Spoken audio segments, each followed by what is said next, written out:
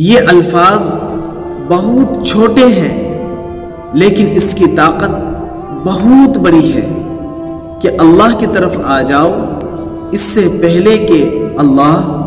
तुम्हें अपनी तरफ बुला ले